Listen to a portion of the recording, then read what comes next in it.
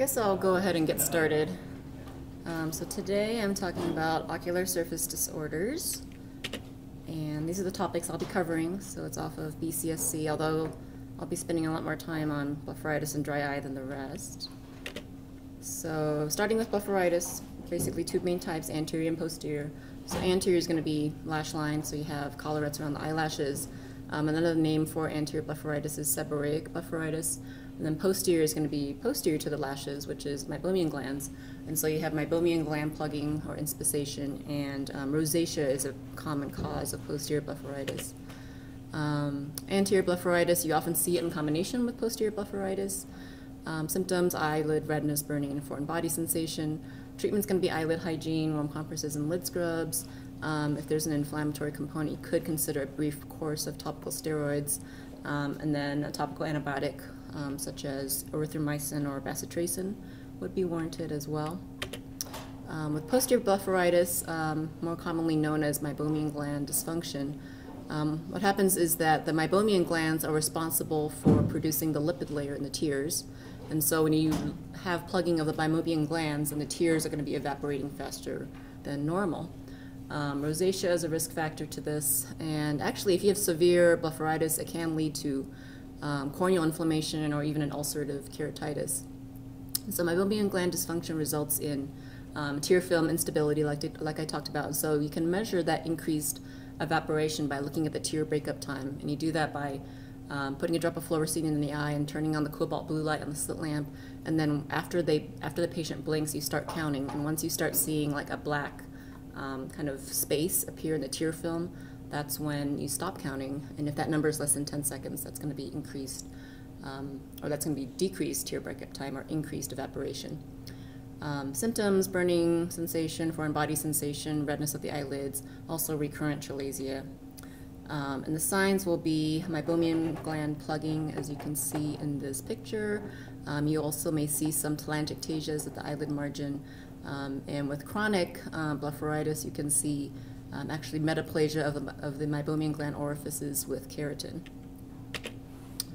Um, this is kind of a new way to measure um, how the quality of the meibomian glands, and it's a um, scan called LipiView, and it's an interferometer that actually measures the thickness of the lipid component of the tears, and it can assess the quality and the quantity of the lipids being released from the meibomian glands.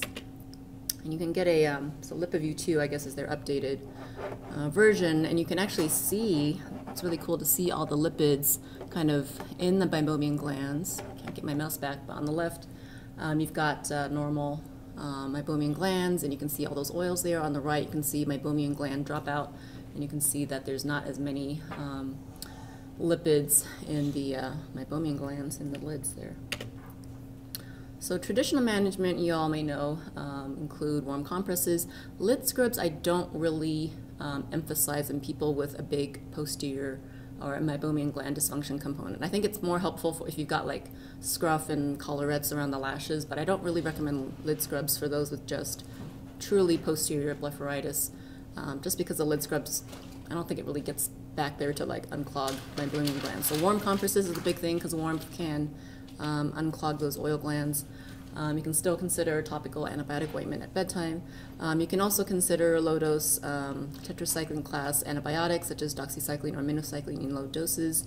Um, I typically do 50 um, BID for blepharitis. Um, if you've got someone who's really sensitive to medication or really skinny and small, you can go with a lower dose, like even just 20 milligrams a day. it works better on an empty stomach. Um, and I do tell everyone that I, when I start um, doxy or minocycline that um, women are more prone to get yeast infections. There can be skin um, photosensitivity and GI upset. Um, it is contraindicated in children under 10 and pregnant women. Um, if you have a child with blepharitis, you could consider erythromycin orally.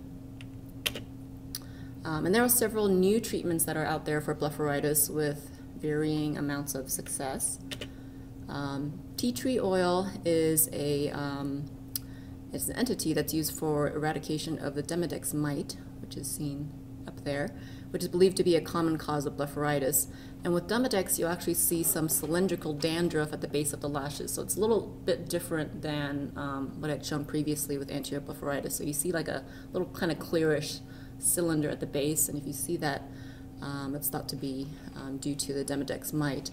Um, if blepharitis is um, due to Demodex, it's often refractory to conventional blepharitis treatments. And um, this can be treated with in-office 50% tea tree oil and daily lid hygiene with tea tree oil, shampoo, or wipes. The problem with tea tree oil, I think it works, but it really stings a lot. So you need to have someone who is willing to kind of go through the burning that you feel with tea tree oil.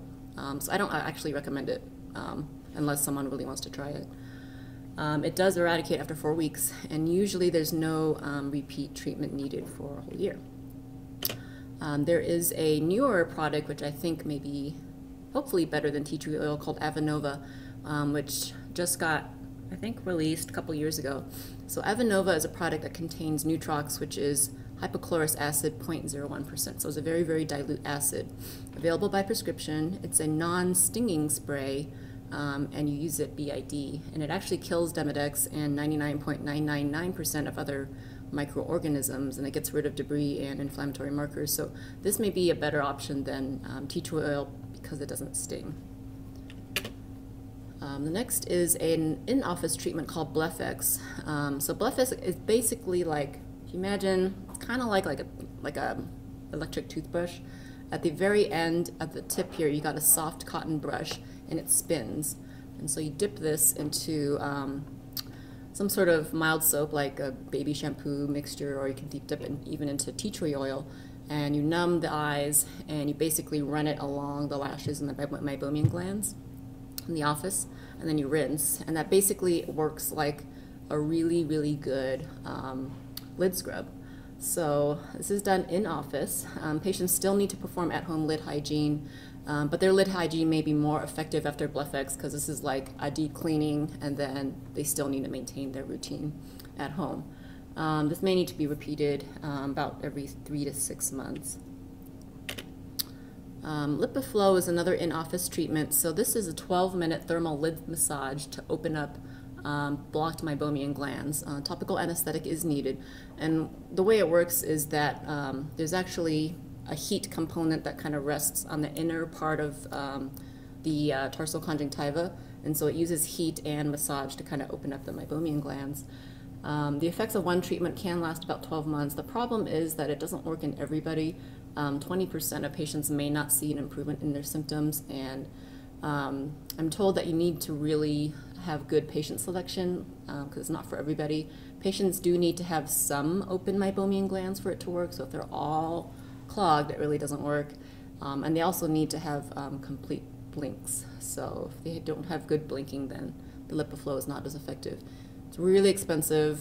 It's like $800 to $1,000 for, oh, I don't know if that's one treatment or multiple treatments, but it's not for everybody because of the expense. Um, ThermoFlo is another um, modality, not much literature is out there, but this is also another in-office treatment of the lids with pressure and heat, but the difference here is that there's no inner component of heat and the pressure is actually applied by the practitioner. So it's not like an automatic thing that you just like set and forget you have to be there. Um, it's still 12 minutes. You don't need a topical anesthetic because it's just external. Um, and I'm not sure how much this one costs, but um, it's three to four treatments are needed about two weeks apart.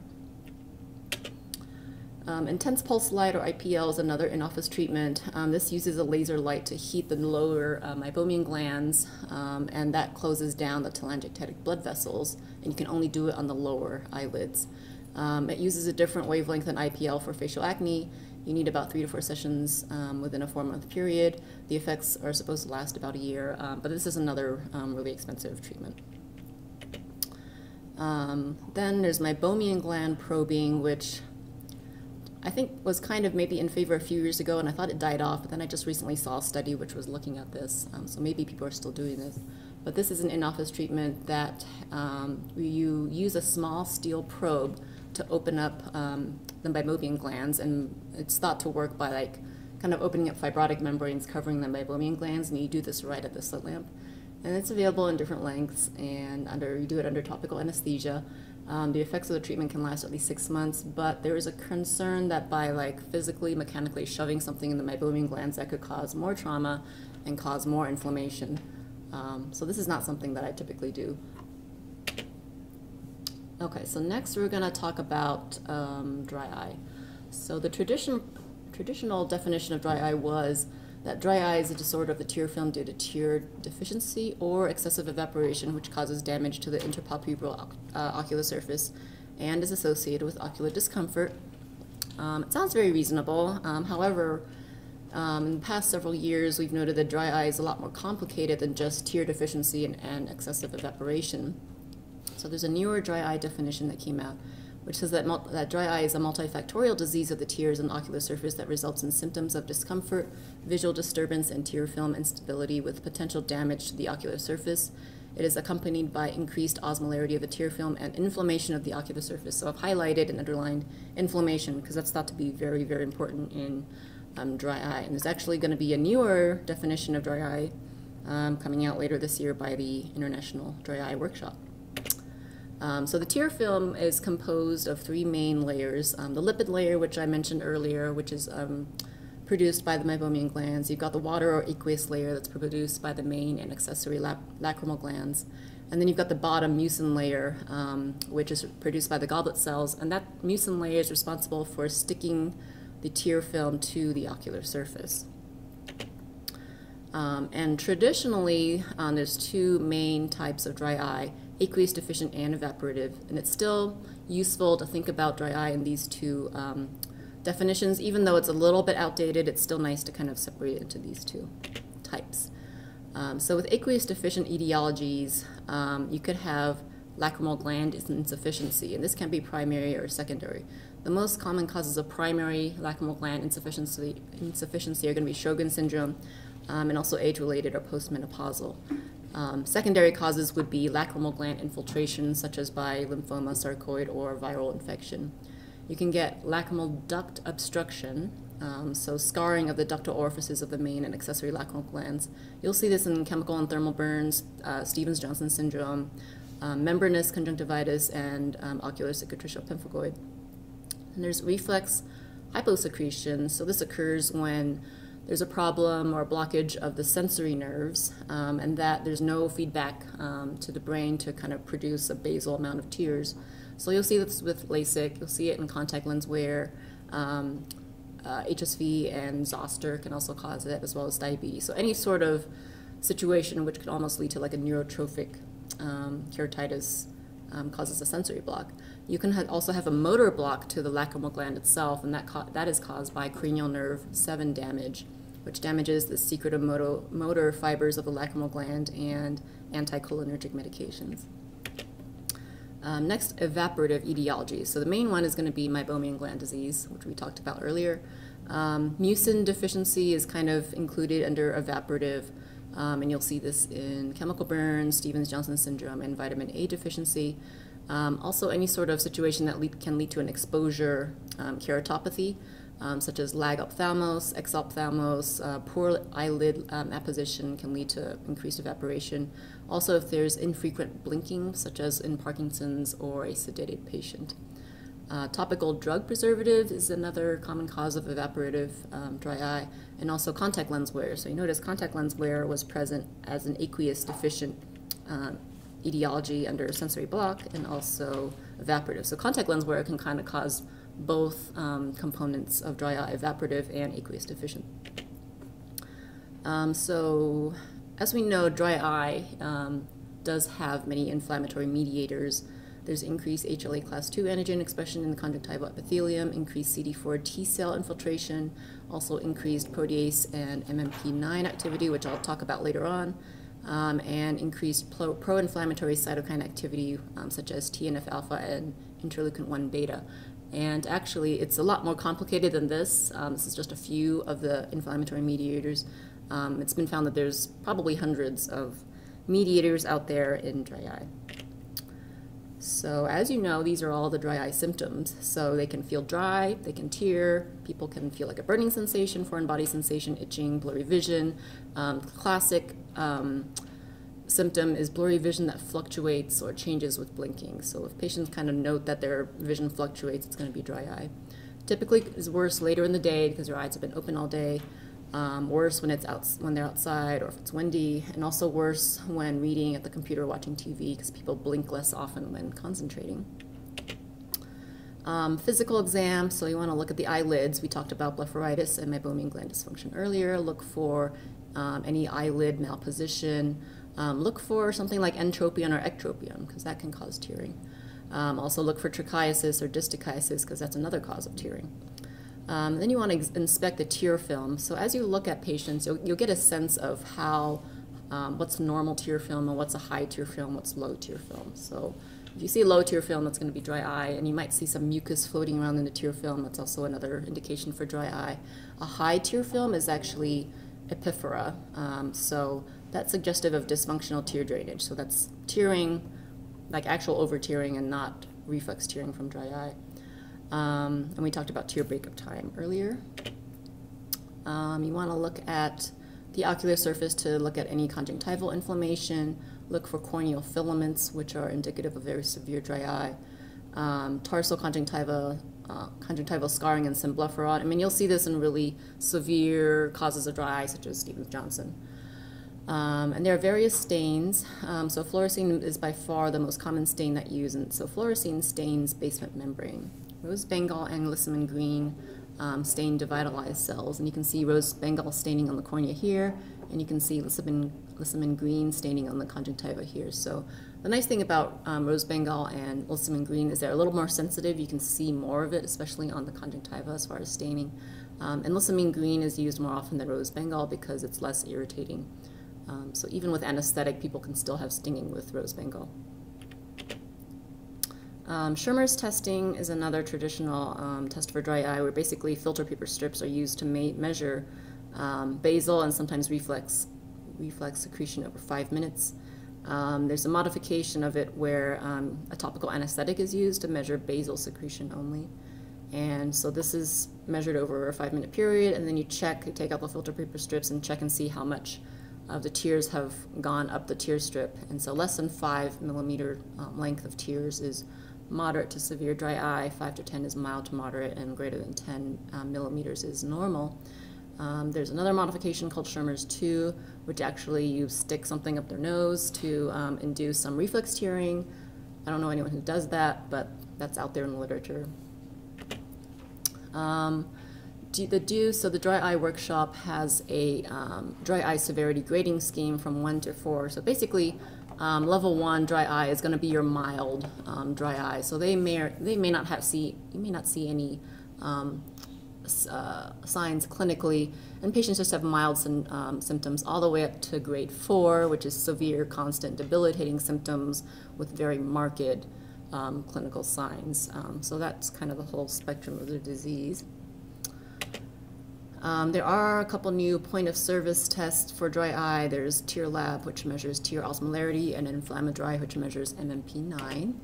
So tear osmolarity refers to the concentrating of electrolytes in tears. Um, so the higher the number, the more concentrated tears are.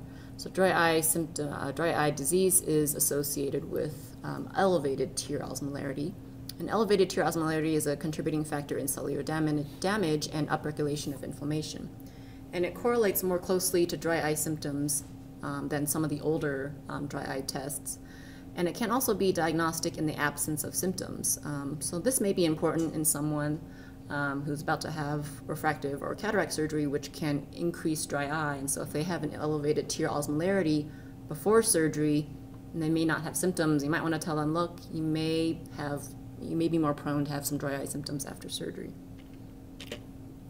Um, TearLab, so with TearLab, what, do, what it does is that you have to sample the tear film, um, and it takes about 20 seconds to do that. And so you just take the tip to the um, lateral canthal area to take the measure the tears. And dry eye is diagnosed if there's elevated osmolarity um, greater than 308, um, or if there's variability between the eyes of greater than 8, or if there's variability on repeat measurements, then it's diagnostic of dry eye. And this test has a sensitivity of 88% and specificity of 75%. Um, and this is a scale um, that's used, so anything that's above about 300 or 305 is mild dry eye, and the higher the number, the more severe um, the dry eye. Um, so next I'll talk about um, MMP9, which stands for, uh, for matrix metalloproteinase 9. So this is an inflammatory marker, and it's elevated in the presence of elevated tear osmolarity. And so higher levels of MMP9 in the tears actually correlate with moderate to severe symptoms on that report of the International Dry Eye Workshop. Um, but it's a little bit non-specific because MMP9 is also elevated in allergy and it's elevated in infections. So it's not that specific, um, but in the right clinical setting, it's very useful. So um, there is an MMP9 test um, called InflammaDry, and it was shown in the FDA study that this test had 85% sensitivity and 94% specificity. And it's similar to the AdenoPlus test, which detects adenovirus, which is similar to a pregnancy test. So it looks exactly like that. Um, it takes 10 minutes to, presult, uh, to process the result. And the brighter, there's basically two kind of stripes that you look at. So the brighter the red positive stripe, the more MMP9 is present. So this is what it looks like. So you kind of assemble the kit and you touch the inferior um, tarsal conjunctiva to collect um, tears. Um, then you run the test, and after 10 minutes, you'll be able to read the results. So if you see a pink positive stripe, it means it's positive. Um, and the more bright that pink stripe is, um, the more MMP9 there is. So it's kind of nice that if you just have like a tiny little bit of red, it's technically positive, but you know that maybe there's not as much MMP9, whereas if it's like really bright and positive, then you know that there's a lot. Um, there are some limitations to the TearLab and InflammaDry tests. Um, it must, they must be done prior to exam, prior to any drops. Um, so there has to be some indication, maybe based on symptoms, um, to do the test. Um, and the patient actually can't put in any drops within two hours prior to testing because that can interfere with the result. Um, so these tests are helpful for diagnosing dry eye in earlier stages. So kind of mentioned earlier, um, it's good for people who may not have symptoms, but it's also helpful for patients with symptoms, um, but they may not have slit lamp findings. And this is a nice test to kind of show that they actually do have dry eye.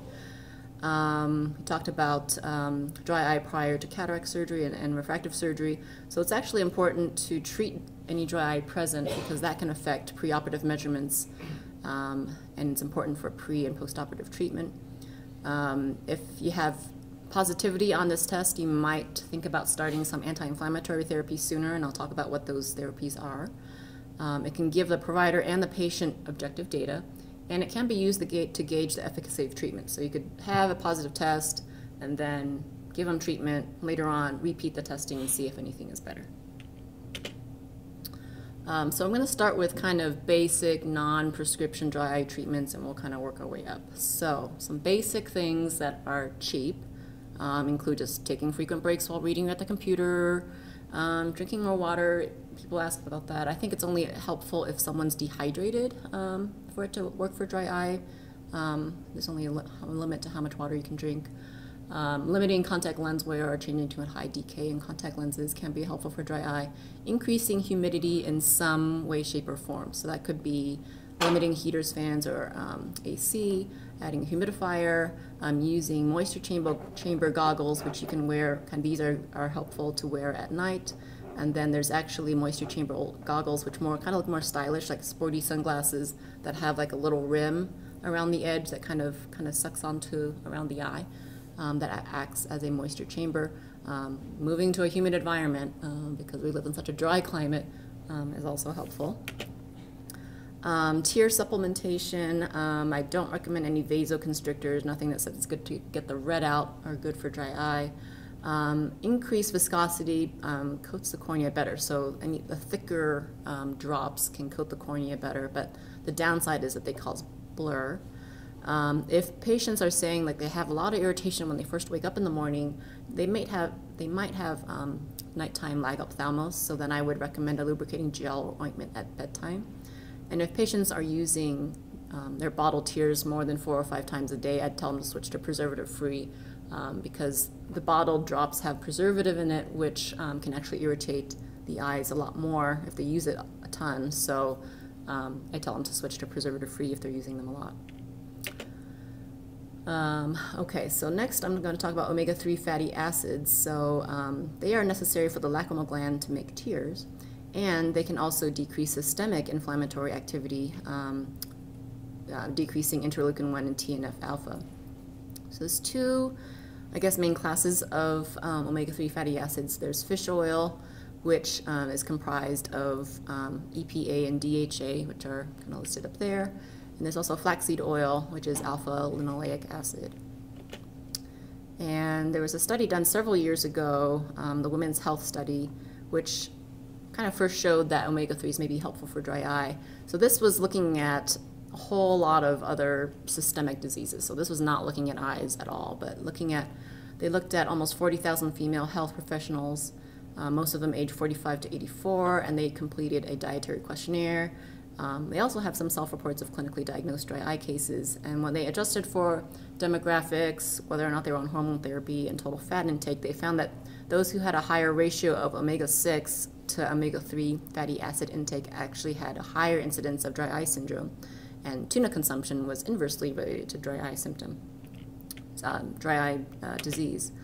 So there really wasn't any much done as far as um, studies kind of proving that omega-3s were helpful for dry until just recently in this month's Cornea um, journal. So this was a study which was a multi-center prospective double-masked randomized trial which looked at placebo versus fish oil and the um, the amount they used was kind of listed up there. They've got 1680 milligrams of EPA and 560 milligrams of DHA. That, so that comes out to be almost 2200 milligrams of fish oil daily. Um, and this was the, the brand that they used, physician recommended nutraceuticals. And they found that by 12 weeks, there was a statistical, statistically significant improvement in tear osmolarity.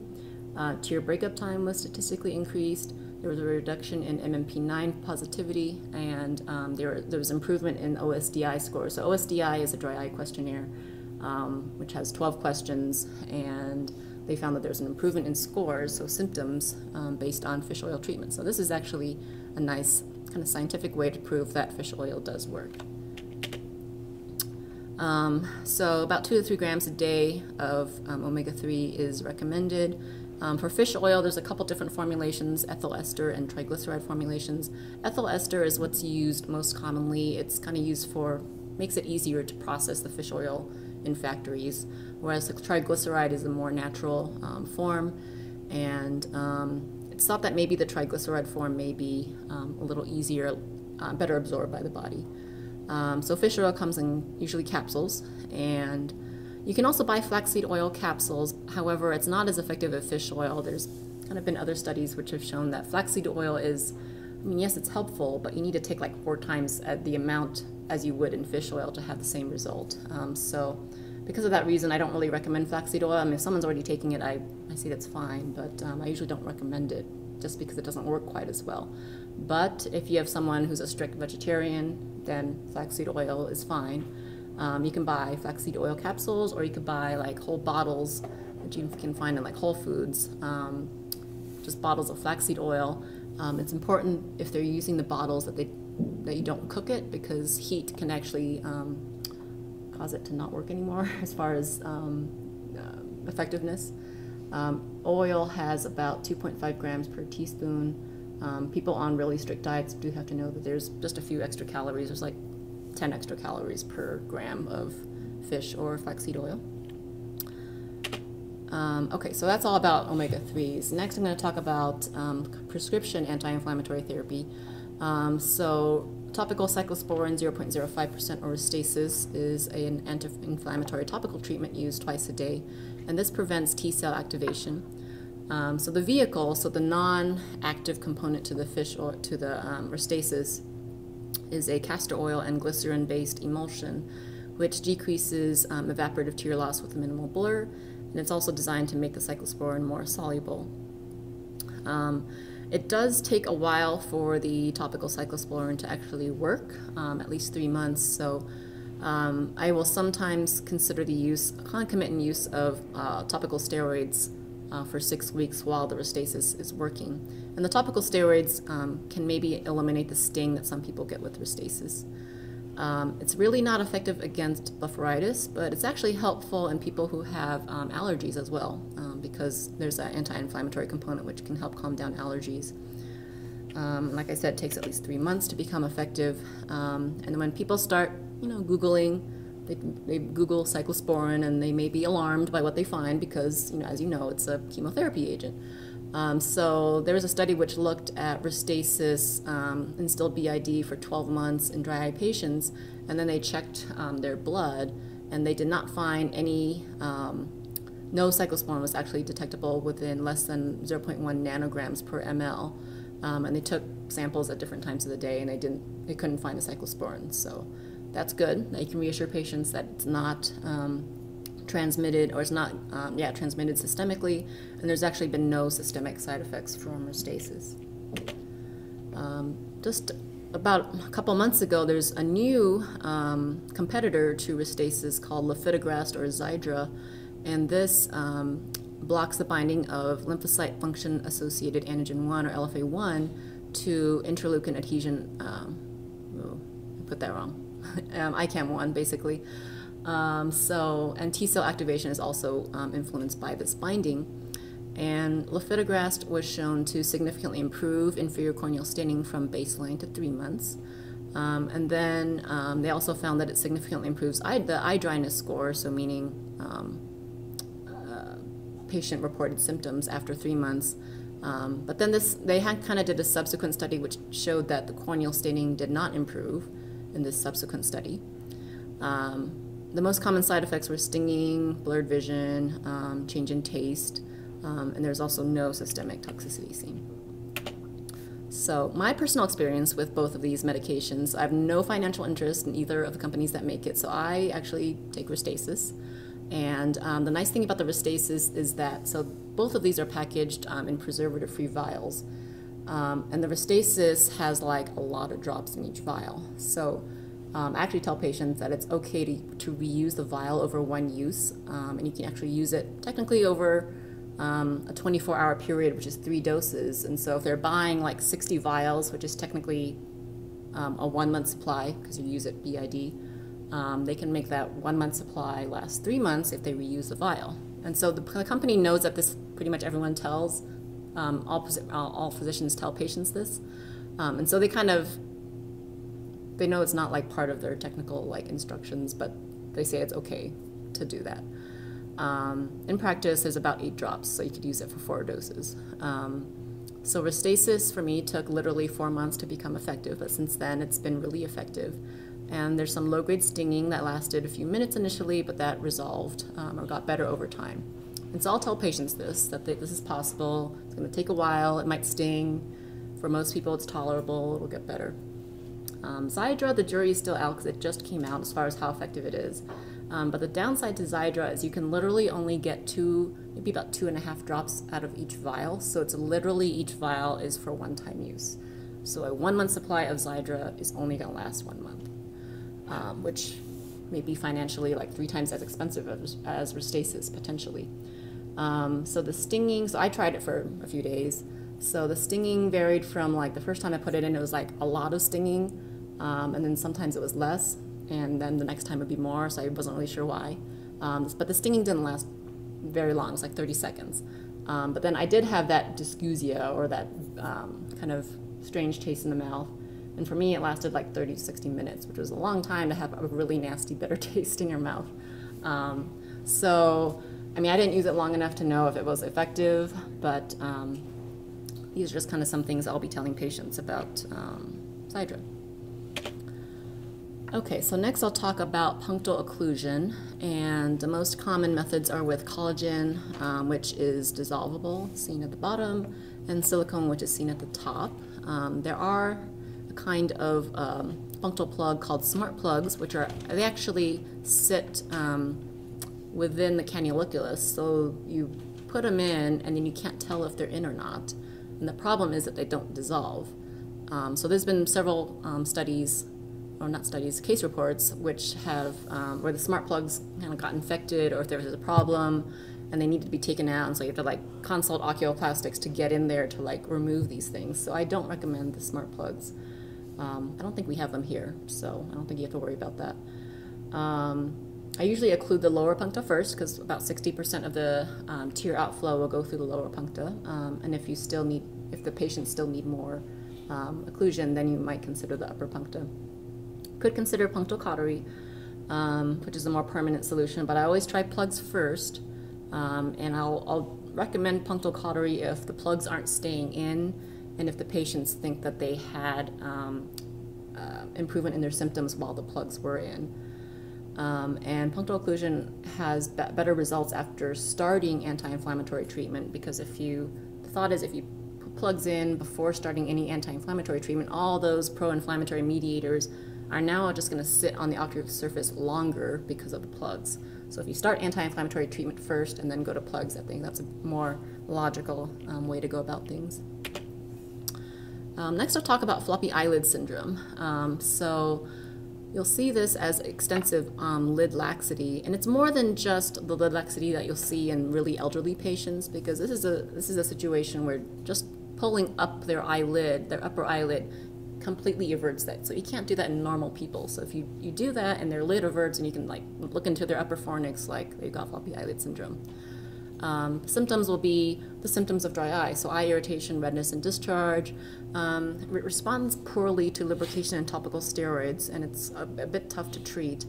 Um, but there's a high association with obstructive sleep apnea, so I tell patients who I see floppy eyelid syndrome, I will ask them if they have sleep apnea, or if they don't know they have sleep apnea, you know, do they snore? And pretty much almost always they'll say like, oh yeah, I wear a CPAP to bed, or I don't know what sleep apnea does, and their wife says, oh yeah, you snore all the time. And it's like, okay, you know, you got to see your primary care doctor, um, get a sleep study, because um, there's a high association of obstructive sleep apnea with major cardiovascular events like heart attack and stroke. So I think you could potentially save someone's life by just telling them they have floppy eyelid syndrome or diagnosing it. Um, floppy eyelid syndrome is um, also associated with keratoconus and Down syndrome. Um, even though it responds top, um, poorly to lubrication, that's kind of the, really the only treatment you can do. Um, you know, nighttime ointment, um, as much using as much topical lubrication as possible. Um, you could consider horizontal eyelid shortening for this as well. next is uh, superior limbic keratoconjunctivitis or SLK. The signs of this are going to be inflammation and staining of the upper tarsal and bulbar conjunctiva. Um, so it's kind of the opposite to dry eye. Usually dry eye, you'll see inferior corneal staining. Um, in SLK, you'll see everything superior, superiorly, and you might see some filaments at the superior limbus and superior cornea. Um, it's thought that the etiology of this could be possibly from excess superior conjunctiva, um, kind of laxity leading to friction on the superior ocular surface. Um, but the symptoms will kind of be non-specific. It's going to sound like dry eye. They'll have foreign body sensation, burning sensation, um, itching, and dryness. And there can be an association of SLK with thyroid disease, so you want to check thyroid function tests. Um, you could consider testing for autoimmune disease as well. Um, the treatment initially is going to be with aggressive topical lubrication, um, punctal plugs, topical steroid, or cyclosporin, or other anti-inflammatory treatments. Um, a bandage contact lens can be helpful. Um, people have used topical silver nitrate to kind of applied to the um, superior conjunctiva to try and decrease some of that um, friction. Um, and another kind of more drastic method that works is recessing um, the superior conjunctiva or resecting it or applying cautery to the superior conjunctiva. next is recurrent corneal erosion which um, will present with severe pain upon awakening or severe pain when they kind of wake up in the middle of the night. And predisposing factors for this will be epithelial basement membrane dystrophy or MAP dot fingerprint dystrophy, which is shown at the bottom there, um, or prior traumatic corneal abrasion. So the treatment, again, is with aggressive lubrication, plugs, topical steroid or, or Restasis. Um, bandage contact lenses can also be helpful. Um, you could recommend hypertonic saline or Muro 128 once the epidefect has healed because the, what that does is it tries to tack the epithelium down um, so it doesn't slough off. Um, but if that doesn't work, then they need they're looking at some sort of um, procedure. So um, epithelial debridement or superficial keratectomy is the other name for it. Basically, kind of scraping off that abnormal epithelium um, and then putting in a bandage contact lens and hope that the epithelium that heals over heals over more smoothly. Um, during the procedure, you could also consider doing some diamond burr polishing to kind of polish down um, Bowman's membrane, or you could do anterior stromal micropuncture, um, which is basically taking a needle and kind of making little um, little dock marks into Bowman's that act as little kind of irregular areas for the epithelium to kind of stick into once the epithelium is kind of healing over. Um, you can't do anterior micropuncture over the visual axis, however, because it causes little scars, so you don't want that in the visual axis.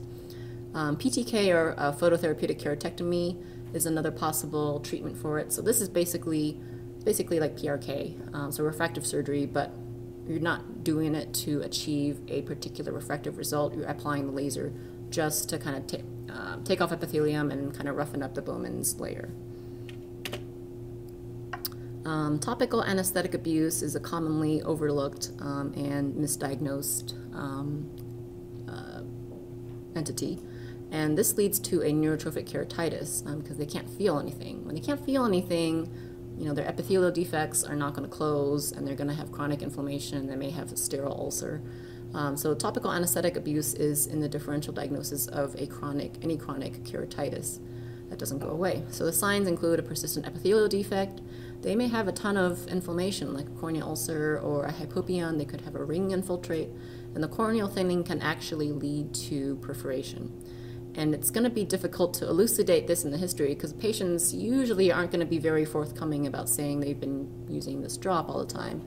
Um, but risk factors include care in the emergency room, um, either or you know they, they may have stolen a bottle of um, the topical anesthetic.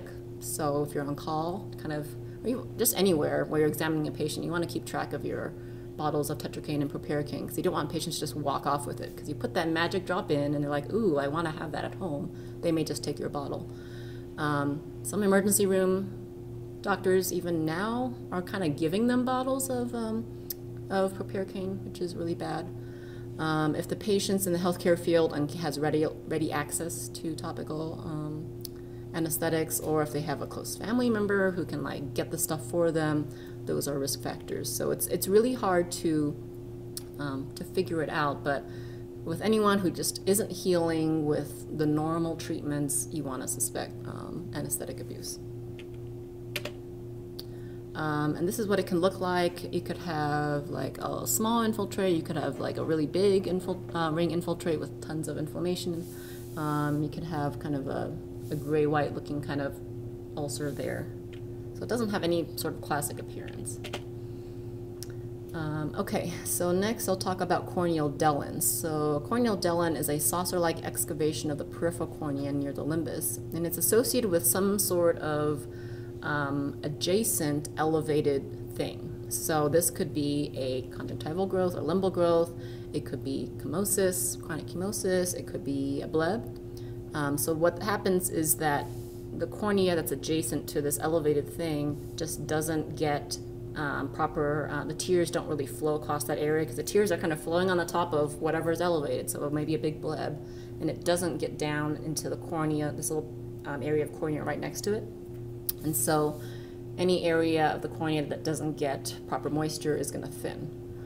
Um, okay, so that's what I just talked about. So here are some pictures of Dellens. So on the left is a Dellen that's actually associated with an elevated or edematous um, graft-host junction. So that graft-host junction is very elevated, that adjacent area of the cornea is not getting um, tear uh, film coverage, and so it starts to thin. Um, on the right is a Dellen from conjunctival swelling surrounding a scleral buckle, so it's really elevated, and that cornea is just not getting enough moisture. Um, so the treatment is going to be very aggressive, lubrication or ointment, you could consider a tarsorrhaphy, and it's if it's possible at all to remove or solve the problem with whatever is elevating the conjunctiva next to the cornea, um, that should be done. Um, next is limbal stem cell deficiency. So um, corneal stem cells are located around the limbus, and they're responsible for renewing the ocular surface with new epithelial cells. And the limbus also acts as a barrier against corneal neovascularization from the invasion of conjunctival cells.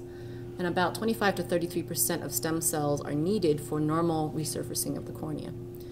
So if you have limbal stem cells um, absent, this could be from a few different reasons, or this can result in a few different things. Um, it can, um, you can lose your ability to have effective wound healing. We'll start to get super, um, superficial corneal neovascularization, and you can have an irregular corneal surface from abnormal corneal epithelium. So this is what limbal stem cell deficiency looks like. Um, on the left is stem cell deficiency from mitomycin that was used um, during a trab, and you'll see just this. You know, you don't really see any vessels here, but you notice that there's a lot of um, kind of abnormal whorls of epith- um, abnormal epithelium. Um, on the right is severe limbal stem cell deficiency, so you got vessels kind of coming um, from the conjunctiva over the ocular, uh, over the cornea into the visual axis. Um, and this is from corneal uh, neovascularization and epithelial dysplasia from just chronic soft contact lens wear. So, um, people sleeping in their lenses all the time, or even people just abu- totally abusing their contact lenses, um, you can have limbal stem cell deficiency. Um, so there's several causes of limbal stem cell deficiency. Um, primary include aniridia um, or PAX6 gene mutations, um, a condition called sclerocornea, and there's another condition called keratitis ichthyosis deafness or KID syndrome. Um, so th- these are more rare causes, but the secondary causes of limbal stem cell deficiency are going to be a lot more common. So this will include um, thermal chemical burns that will damage uh, the limbal stem cells. I talked about contact lens wear. Um, radiation to the eye can damage um, limbal stem cells. Eye surgery, so if you have enough damage to limbal stem cells all around the cornea, um, that can lead to a stem cell deficiency. Um, mucous membrane pemphigoid and Stevens-Johnson syndrome can lead to scarring and damage of the stem cells. Um, a pterygium is actually a very localized limbal stem cell deficiency. So it means that right in that area where the pterygium is and when it's growing onto the cornea, there are, there's a loss of limbal stem cells right there. Um, Top topical medications such as pilocarpine, antimetabolites, antibiotics, and beta blockers can lead to a limbal stem cell deficiency. Um, so the treatment, so if it's mild um, and due to local factors such as contact lenses or drops, um, you can try and discontinue them. Um, you could consider debriding abnormal epithelium, um, but this is only going to work if there's enough normal limbal stem cell um, stem cells to repopulate the whole surface. Um, you could consider a scleral contact lens because that actually doesn't touch the cornea or the limbus. Um, surgically, if it's um, if you've got a pterygium, you just take out the pterygium and you could use a conjunctival autograft. Um, if you have someone who has a unilateral chemical or thermal burn, you could um, actually do a limbal autograft from the patient's fellow eye. So you harvest um, a section of limbal stem cells from the fellow eye, so the normal eye, and put that on the on the burned eye. Um, if there's bilateral disease, um, you can do a limbal allograft from um, an HLA matched living donor or eye bank eye, um, and do need uh, systemic immunosuppression for this. Or you could do a keratoprosthesis, which is um, an artificial cornea. I think that's my last slide, yeah. So, any questions on anything talked about here? Well, thanks for coming.